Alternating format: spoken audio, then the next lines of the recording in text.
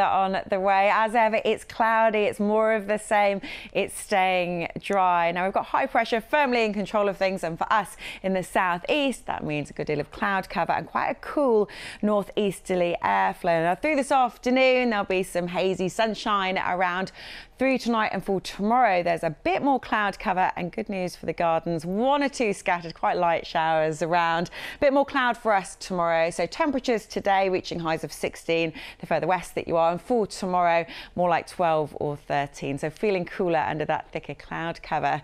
Now through the rest of today still we've got that cloud and cool northeasterly airflow but there's some hazy sunshine around. And just behind me there as you can see temperatures the further west that you are reaching highs of around 16 the further east more like 12 or 13 so cooler under the thicker cloud where you see that hazy sunshine temperatures lifting to around average for the time of year. Now into tonight, again, we're going to hold on to that cloud cover. Where it thickens, there'll be some patchy drizzle. It's fairly fleeting, I'm afraid. Overnight temperatures, though, holding up as a result of the cloud at around five or six degrees. Now for tomorrow, the best chance of any brightness likely first thing. By the afternoon, more cloud feeding in on that northeasterly airflow. You can see a little bit of blue on the map, some scattered showers and temperatures feeling cooler for us all. So top temperatures for tomorrow below average for the time of year at around 12 or 13 degrees.